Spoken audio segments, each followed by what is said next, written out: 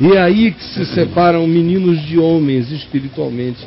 É quando o coração que não concorda não diz bem feito para a desgraça. É só aí que você começa a virar gente. Não concorda.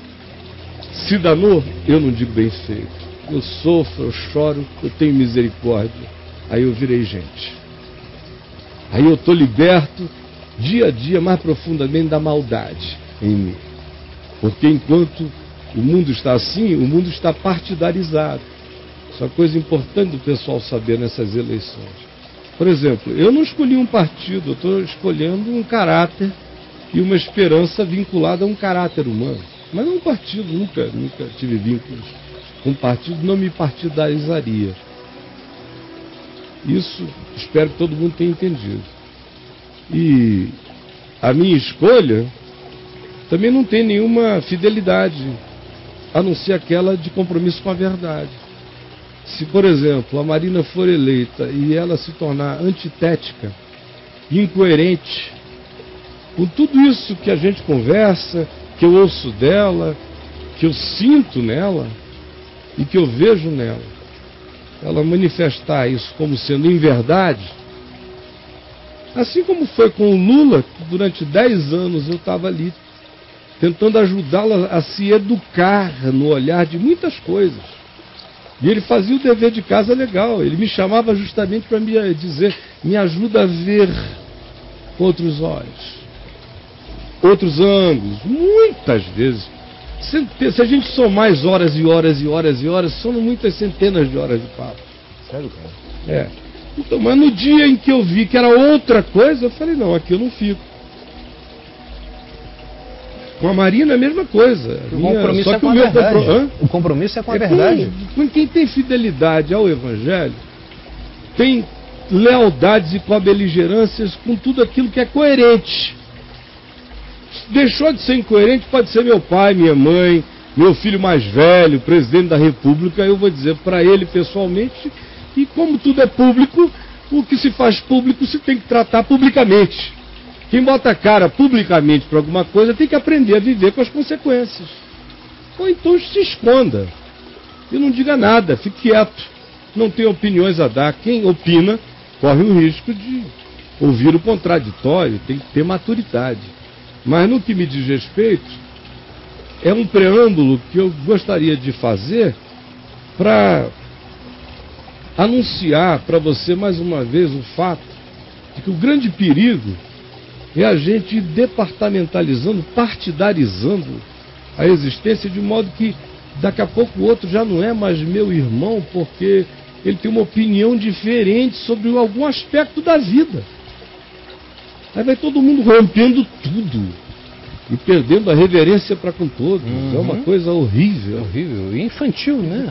é, é pagão demais. É. é. de quem nunca conheceu uhum. bondade, nem misericórdia, nem graça de Deus. É síndrome de Jonas. Uhum.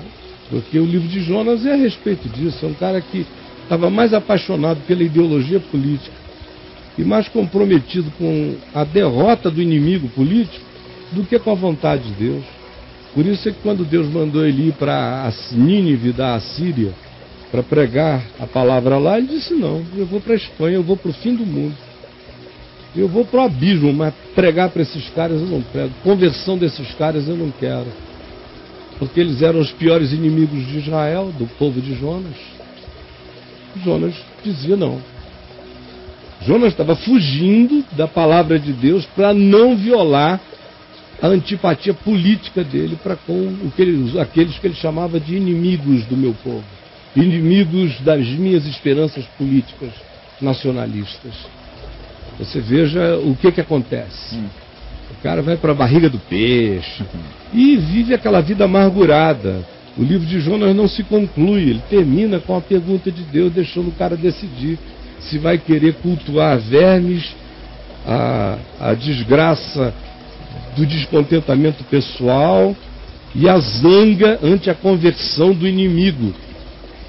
É o cara que queria dizer bem feito de qualquer maneira em cima do outro. Queria, né, Caio? Queria dizer bem feito. É. Aí vem o inimigo se converte. Aí ele não, não tem um bem, feito, feito para dizer e nem não tem um aleluia para cantar. Olha só. Aí ele escolhe dizer bem feito. Mesmo que nada tivesse acontecido.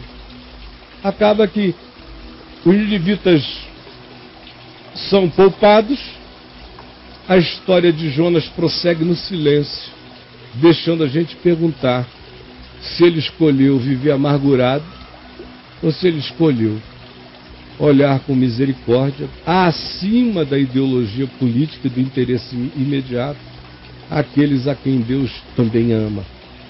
O livro de Jonas termina dizendo a você sobre o seu antagonista político, religioso ou de qualquer outro nível. Como é que tu queres, ó Jonas? É a pergunta de Deus. Tu te importas com a erva que cresceu num dia e te deu uma sombra? E o verme veio e comeu e secou de um dia para o outro, e hoje o sol está causticante sobre a tua cabeça, e tu estás com raiva de mim e misericórdia da planta? Deus diz: por que, que tu não aplicas então o mesmo princípio da planta a Nínive?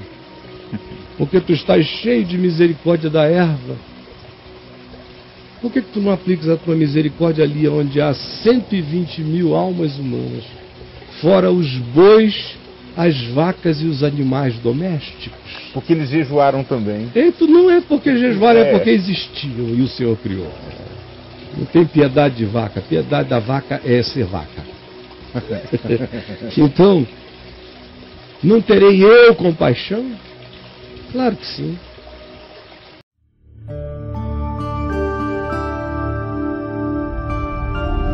Vem e TV. O canal é você.